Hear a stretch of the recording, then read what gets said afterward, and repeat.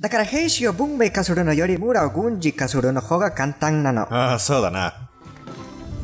ああ、しょうがないや。いや、まだ食えるよ。5秒ルール。早く取ってこいな。何？5、4、3、2、1! 誰がそんなバカなルールを発明したの？もうペコペコよ。伝統尊重しろよ、お前。エンチューフェのアプリケーションはいいね。なんだって？まだダウンロードしてないわけ？なんでまだダウンロードしてないの？ここにダウンロードできるくせに Android と iOS に準備されてあるよ。早くアプリケーションをダウンロードし。